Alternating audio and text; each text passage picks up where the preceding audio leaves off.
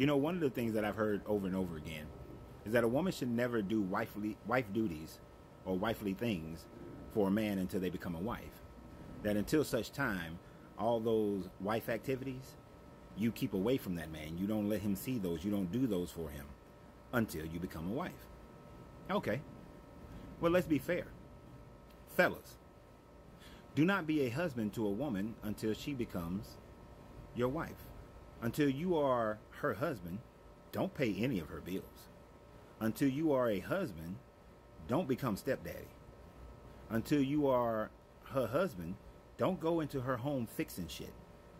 Don't worry about her car until you are her husband.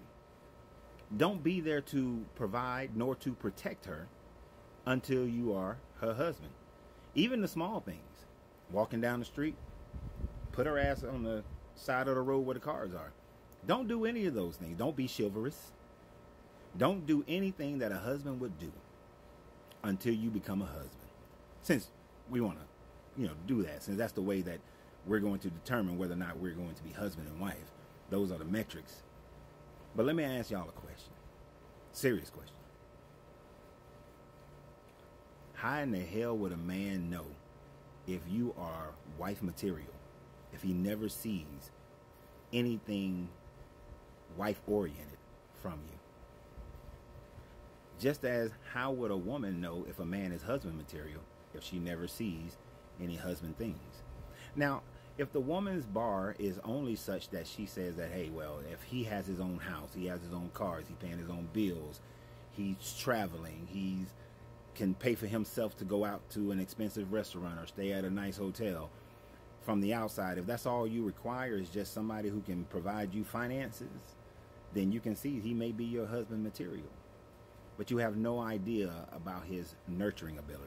You know you have no idea about his decision making process. No idea about his planning process. But all you see is the exterior, the superficial, and you say that's husband material. Just because he can pay some bills doesn't make him a husband. Just because he can go on some trips doesn't make him a husband. Just because, just because he can go to restaurants and vacations and you know has a nice car doesn't make him a husband.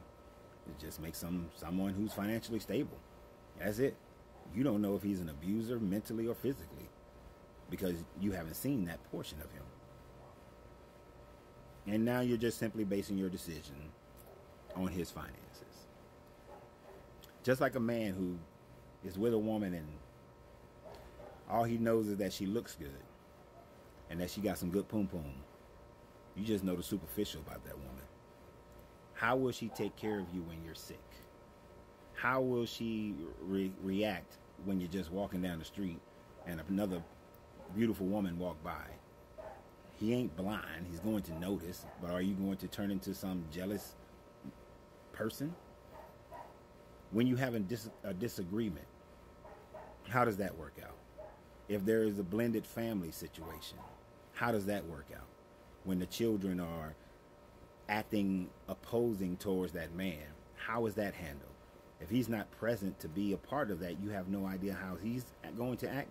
She has no, you have no idea how she's going to act.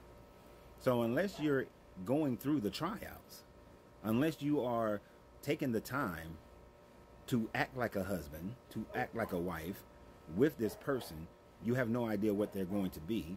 And then you decide on superficial things that I'm going to marry this person. And you get into the relationship and you find out that they're controlling. You find out that they're jealous. You find out that they're selfish. You find out that they're violent. You find all these things out after you get married. And then you get a divorce. Then you have to go through all the government processes of separating finances because you never knew who the hell you was marrying in the first place. You married a representative. You married a superficial person. You married somebody that you barely knew. You may have thought you knew him because you only saw him in the good times. You only saw him on the dates. You only saw him, you know, when things were great. You didn't spend that quality time to see what happens when either one of you are unwell, either physically or mentally.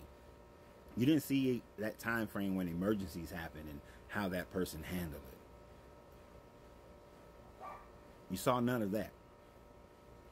And so when you get married, now all these things change. All these things are now being presented. And now you get to see the real person. And then you get a divorce. Because you didn't like that real person. You like that superficial person. And if that's who you are, then just date. Just date. You meet a person and say, hey, I'm, I'm only here for the dating. I'm not here for anything else. I don't want a, a deep relationship. I don't want to combine households. Households.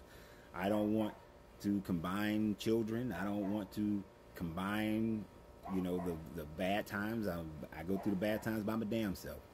But when that happens, don't look for anybody to bail you out because you're only there for the good times.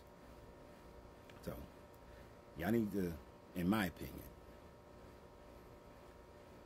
show a person who you're going to be at all times, who you're going to be in their future life, in their deep life, not the superficial bullshit. I would never marry a woman that I didn't get to see what she would be like as a wife. And it doesn't always work out perfectly, even in that.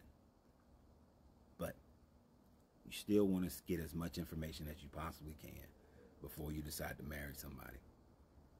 So, what do you guys think? What do you guys think? Comment, share, like, subscribe. And always remember, you have to free yourself to be yourself because your greatness is non negotiable. Good journey, good vibrations.